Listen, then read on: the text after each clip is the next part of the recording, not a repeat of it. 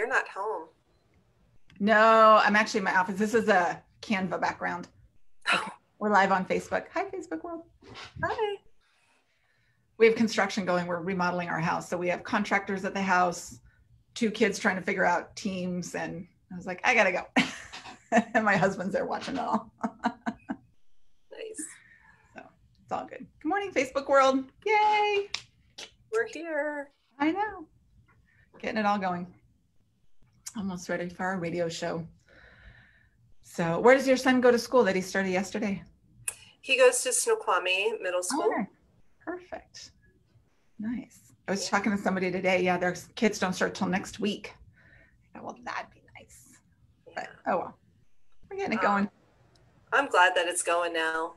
Get into Yeah. the routine. mm-hmm. He, he needs it. I need it. Good for everybody. right on, right on. So we'll get rolling here in another minute or so. Okay. In the morning. Meantime, we'll just talk to Facebook. So I know you're a Peloton person. I love it. Well, I'm not tech. Well, yes and no. So it's not a Peloton bike, Oh, um, but I do use the app, uh huh. um, and and I like that.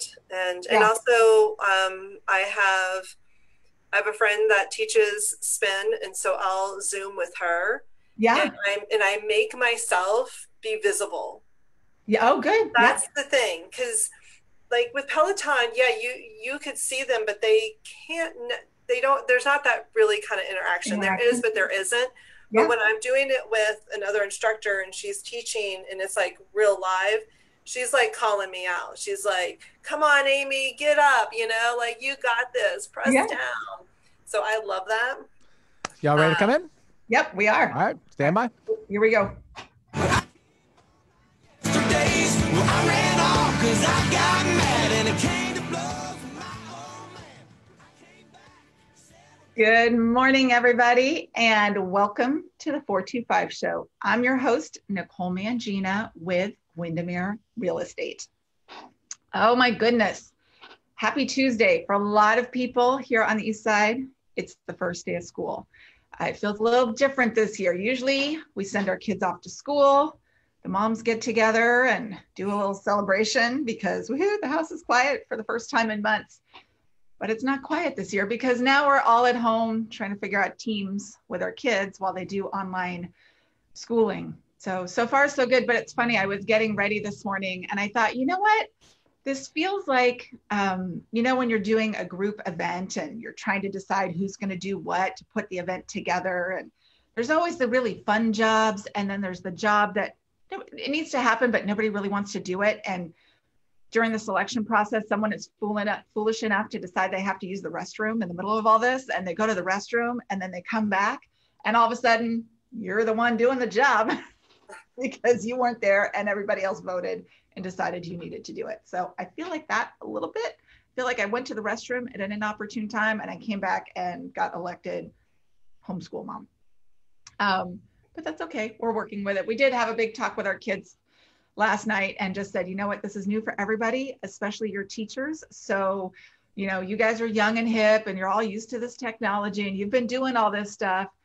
You need to participate in class and you need to show your teachers a lot of love and give them a lot of grace this week, actually, throughout the whole time.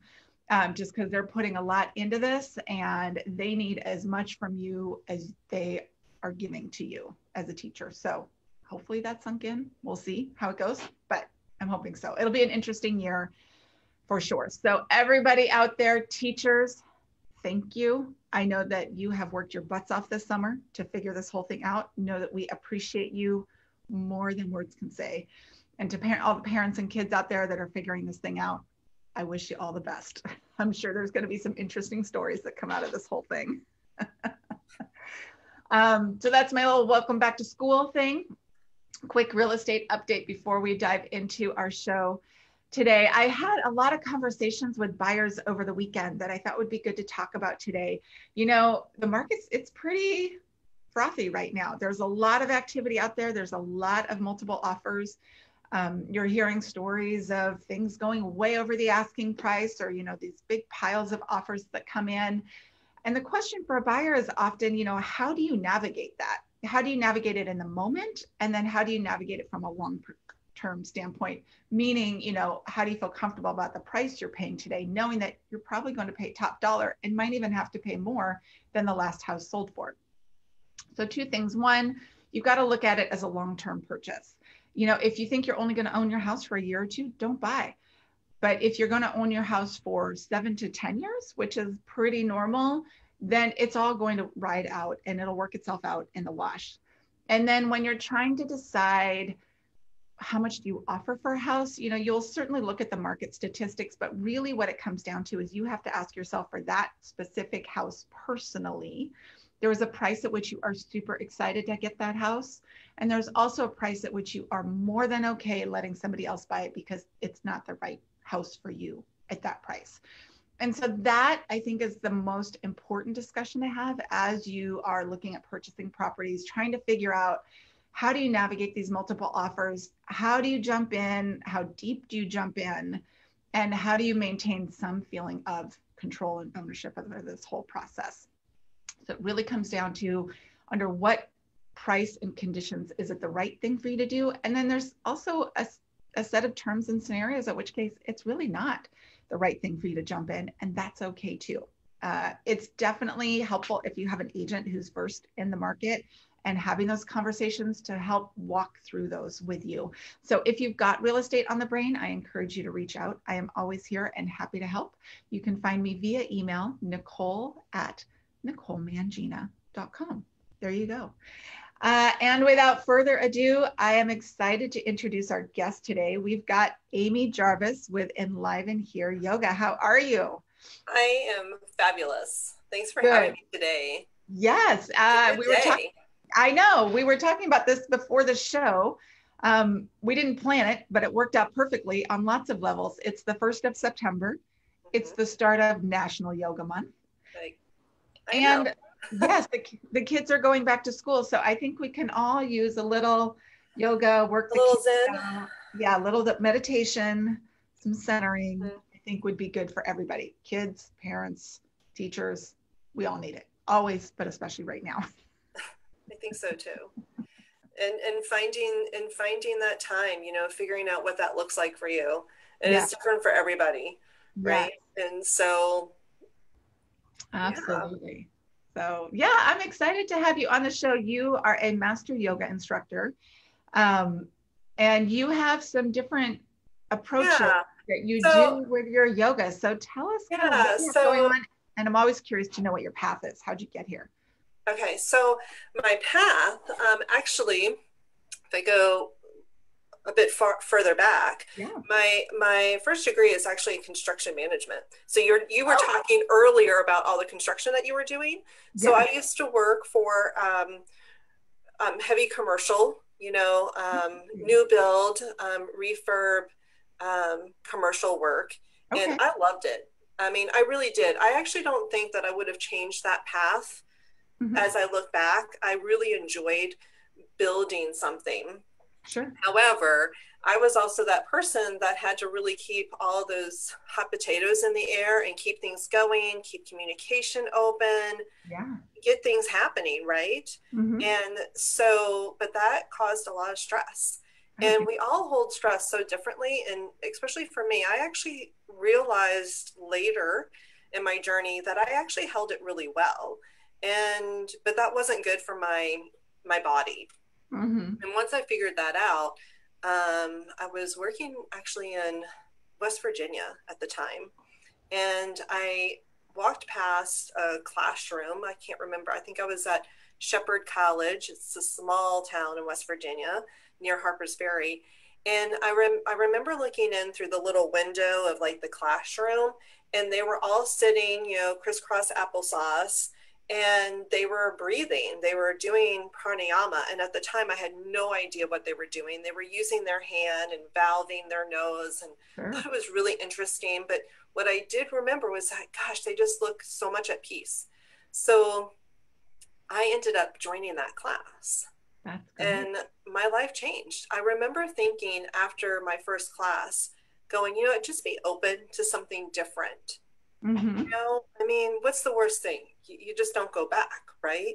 Yeah. And I just realized I did physically feel very different from the beginning of the class till the end of the class. And it actually, I started recognizing in my days how I was just calmer. I was actually sitting back a little bit more. I wasn't so like, you know, Yeah, hard. amazing. And so at the time, I was just a practitioner. I was just going to yoga classes and being in construction and one and single at the time. And one of the things that I could offer um, big companies is I would go anywhere you'd want me to go. And that's hard to find actually.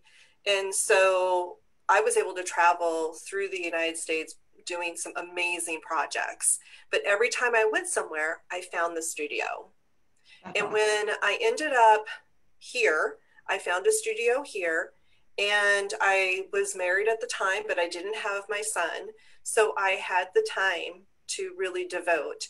And before I knew it, I went through my first training yeah. and I received my 500 hour teacher training Mhm. and I just I loved it. And I was working actually with a yoga therapist, and I liked that connection. It just wasn't going in and teaching a class and leaving. Mhm. It was really talking to the students. And the form of um, yoga that I was trained in is called Vini Yoga. Vini means adaptive. Okay. And so I never do routines. Right. I was never taught routines. So you tell me what's on your mind, you tell me what your body's telling you, and I kind of figure it out with the it. idea that everybody leaves thinking, wow, she just did that whole class for me. That's my That's goal. awesome. That's pretty Yeah. cool. Yeah. And so, but that healing side of it and that connection and really seeing it and having Mhm. experienced it a little bit myself, Sure. I, I, and knowing that I wanted to start a family, Mhm. I thought, you know, this would maybe be something I could do a little bit more full time. right. And it was so important to me that I went back to school.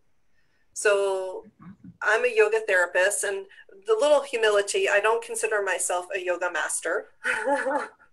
I- um, but I love the idea, but I do my best, but a little humility. But um, when I went back, um, it was a two year program um, for yoga therapy. And what makes it a little bit different is that the International Association of Yoga Therapists, they require very specific criteria in classes and hours. Okay. Uh, right? And so very much like a university Got it. Okay. right? So I could tell you, I went to LSU, got my degree in construction management. You immediately kind of know what that could look like. Mm-hmm. But when I say yoga therapist, you're like, I'm not sure what that looks like. Yeah. Well, we're slowly, I mean, we've been around, the International Association has been around for a while, but it's really moving now. And we're really getting out there and educating people on what we do and how we make it different. But that big part is that educational part. Sure. Whereas through most um, certifications, um, like the 200 hour, which I love because I actually teach. I'm a I'm a I'm a school, Enliven Here is a yoga school as well, and I could teach people to be teachers at the 200 level. But that is the foundational level. Like that's meant to be where you start, and then where you. It's kind of like figuring out. Um, okay, my first two years of college, and I've kind of like gotten all those core classes in, right. and now I'm going to start focusing. Sure. And and many people stop at the 200, and it's fine. You could still do continuing education. Um, but with as a yoga therapist, I work directly um, and I bridge um, healthcare. So I do work with and collaborate with, um, and you know through HIPAA, I you know make sure that it's okay with the clients. That I correspond and talk to the doctor, the chiropractor, the PT, you name it, and we weave it. And I'm sorry, I'm going, going, going because I just love what I do. No, I think it's that. I mean, I've been doing yoga for 25 years, so I'm a huge yoga advocate, believer, practitioner. It's totally changed my body. Um, but this whole yoga therapy is it's a new thing, and I'm just fascinated by it, or it's new to me anyway. I just think it's so interesting, and it makes it's one of those like you never hear about it, and then you hear about it and think, oh well, that makes perfect sense. Like, of Well, course you would do that. Yeah, I mean, we all have something going on in our body, right? yeah. But also as a yoga therapist, and I do a lot of meditation coaching, Mm-hmm. and I do a form of meditation called Yoga Nidra. And in the Yoga Nidra, and it's it's not something that just kind of popped up. It's been around for over two thousand years. Right. But they were, I mean, they were totally onto something back then. I'm like, Yeah. it's amazing. Like when you really look at it, you're like, wow, Mm-hmm. like they knew what they were talking about. And you know we have layers of the body. And when yoga first came over it was primarily all about the postures. Mm-hmm. asana right? And they're lovely. Yeah. and i love them. And they definitely have such a huge purpose in so many different ways. But it's just one way to go a little bit deeper into the body. Sure. so my example that I say is, you know, for me to ask you to go sit and meditate, it's too hard. You have to kind of go through the layers in order to kind of get there. So you probably know what shavasana is, right? oh, of course. the yeah. rest us. I mean, Mhm. what- there's no yoga class worth going to if there's not a good shavasana. I mean, we love shavasana Right. right? And Shavasana is that restful pose. Well, you can't necessarily get there until you do some of the movement. Like you kind of have to work out the kinks and, and kind of feel through it, where you can actually go into the breath layer, Mm-hmm. into the mind layer, Sure. you know, and then into that heart layer. That makes sense. and so we kind of build we kind of you know start here and we go a little bit deeper i kind of think of it like a, a- an onion and you just go a little bit deeper and deeper you just peel those layers Oh, layers yeah. That makes where you total kind of, when you get to real self Mm-hmm. right so with working as a yoga therapist in my training i'm taught how to look at that whole person Got it. Yeah. And Yeah. so with yoga therapy, is that a one-on-one class then? Or one-on-one session versus a class? Yeah, I mean, I do group, and for somehow, I tell you, it works. It does work. Um, but you do have to be very, not to give myself a pat on the back, but you do need to be trained in order to understand how to listen. So, like when I'm listening to everybody, and I could have 10 people in the class, I'm actually lis- listening to what I'm not going to do. Oh, that makes sense. hmm right?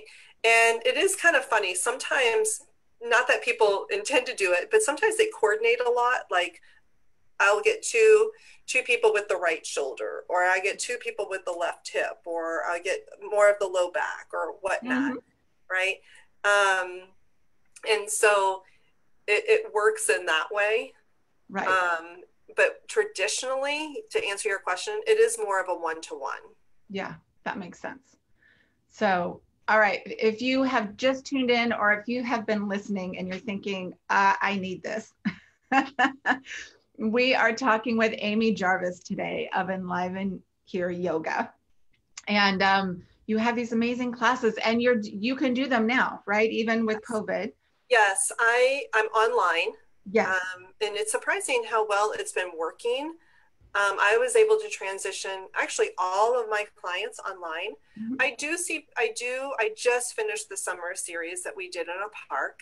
We Sure. did it in Oh, Issaquah, nice. but we just finished it this last week. It was wonderful. Mhm. Um, but I do see people one to one. I I try to do it outside or we are in a larger space, so it's still possible. Um, I always wear a mask. Um, you know, be safe, do the precautions, Yeah. but very possible. Exactly. And I just, I think it's, you know, it's so important to take care of your body and everything. And like you said, there is that mixture of all of this, right? Because so many of our ailments, I'll call them kinks, quirks, all of that are, um, come from just everyday life, stress, stressors, thoughts, all of that. Um, I know I went to acupuncture yesterday and she's like, what's going on? You're totally leaning to the left. she goes, I don't know what's going. She, and I didn't even realize it, right? But you know, we've been mo- moving furniture all weekend and doing all kinds of different things, and um, I got a little kinked up, so now I feel much better. and it affects you. And when you do, you know, our first layer, that body layer, that's what we're most um, related to, sure. right?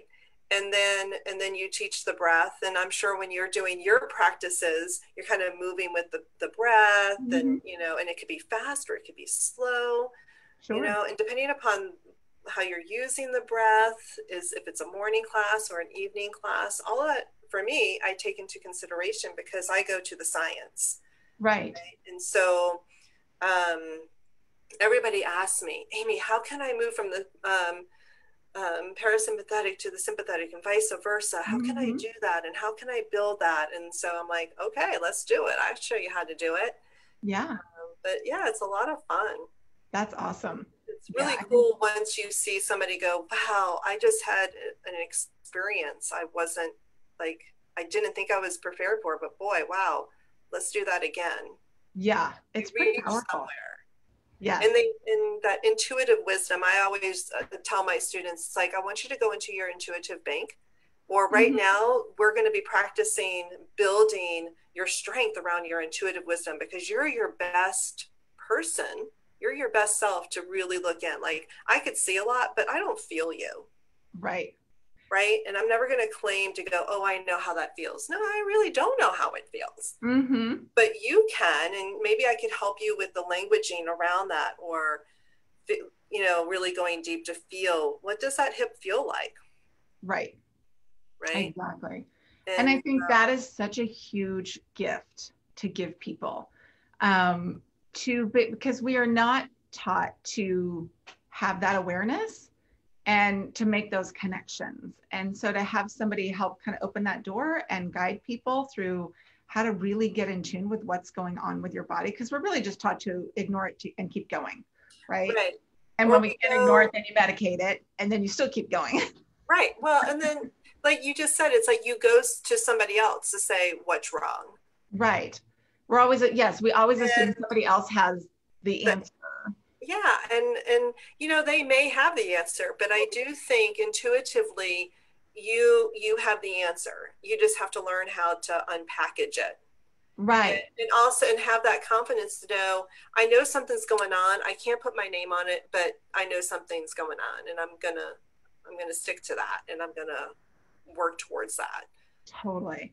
you Um, but to me, that's the mark of a good practitioner um, in anything, right? Somebody who gives the power back to the person who's there um, to help them understand what's going on. And then, you know, as the person who's doing the yoga, you still need the guide. So it, then it becomes a partnership versus just showing up and giving your power over to somebody else. right um, and once it you know and then it becomes just exponentially more powerful because it's you know you're both everybody's showing up and you can just get deeper and do better things i think yeah so so it's so exploratory.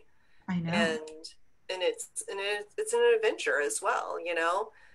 Because it also takes you to different places and you go and you do different things. Um, i know i have a couple of clients. They started with me and they had no idea what to expect but now they've done teacher training they've done retreats they do advanced studies. They're just like oh my gosh i thought it was just about cobra pose. And i'm like no a little more to it than that a little bit more. And that's so much fun for me to be able to share. You know, you can't do it in the first meeting. You can't, you, you want to. It's like I want to draw it out, out, but I'll lose them. I'll totally Right. lose them. They'll think I'm a wacko. yeah not a wacko Well, not a wacko, but you know what I mean, right? I'm pretty, you know, what you see is what you get. I love it. Perfect. So if people are out there listening and they'd like to work with you, how do they do that? How do they connect with you? Well, it's really simple. Um, my website Okay. is www.enlivenhere.yoga. okay. And on there is even my number. It's actually really simple. Okay, great. And Yeah. And you do, and they can, you can do individual classes. Yes, I do individual classes. Um, I can set them up online or offline somewhere, and um, and I do do group classes, Okay. and I also even put together um, small groups of people. Like I do, I've had it in the past where neighbors get together. There's five of them, and it's like we have a start and a finish, and let's do this for four weeks, and let's you know that's kind of fun too especially now that people are getting their schedules together and they're they don't want to they don't want to leave too far right because Right. kids are home Yeah. so um, and i and with that said i do go to homes um, you know, it just depends upon the person and where they're at and how they, what precautions they need to make with COVID. Sure. So anything, anything's pretty possible. That's awesome. It's just a conversation and figuring out where you're at. Perfect. I know it's we're all adapting um, in so many ways right now. And you have some online options as well, correct? Yes. Yes. Okay. I teach during the week and yep. Perfect. I love this. I think this is so fascinating. Like I said, this whole yoga therapy thing, I think is like mind-blowingly awesome. Um, and the yoga nidra, I've like dipped my toe into that. Um, I haven't done a lot, but I think it's really fascinating. I'm a big meditator and as well as doing yoga. And I just think that's so powerful. Yeah. Really get in there. It does change it, like you were saying back when you were still working in commercial construction, it just changes how you show up in your day. It's not just that period of time that you're doing it, it changes your whole day. Right. Well, they've come to now recognize that your brain is plastic. It, it's it's Right. able to change, right? Um, neuroplasticity in the science of the brain in that way. They've come now to realize, um, and we kind of already knew this, you know, especially when you see. I, I use the example of brushing your teeth or writing. Like if you write with your left hand and then I ask you to write with your right, it's a little bit more difficult. It's possible, but it doesn't see you don't have the same flow, just like brushing your teeth. Sure. Um, but if you keep doing it and you keep practicing, you're making a physical neuron link and a synapse link. And the more you do it, that bridge um, connects. Mhm. Well, meditation works in that same way. It helps to create those bridges. sure. It helps to um, actually literally strengthen them, Uh-huh. the bridges. Yeah. Um, it's also like with anxiety, like I actually suffered a, a bit from anxiety, I'll share. Sure. And there's that point where if any of the if any of y'all out there that are kind of nodding going okay i i kind of get this because i start feeling it build up this Mhm. anxiety and now through meditation i was able to separate i was able to say i'm not anxiety Sure. right and it's also something that my body's trying to prepare me for let's say if i'm Yeah. going to go talk to 100 people in front of like in an audience right? And i get the you know this Yeah. kind of build up that's your body preparing you for it. Sure. but once you understand that and you can sit with that feeling and breathe through it right you're starting to actually create space where it's just not it just doesn't happen. You know the idea is that you want to catch it before it gets too for a lack of a better word too inflamed hmm but you want to create that space so you could actually make the decision that it's not making a decision for you. Yeah, I think that's great. slows that down to find that space where you can make that decision on how to recognize okay this isn't me. This is just a sensation that's happening in my body. Mhm. um, and let's move through it.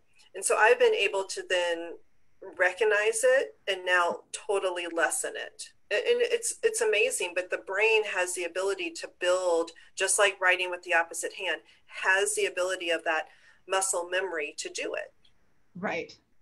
I just think that's so powerful um, and a skill that we can all benefit from building. So that's so cool. Um, gosh, thank you for joining us today. I feel like I learned so much from you.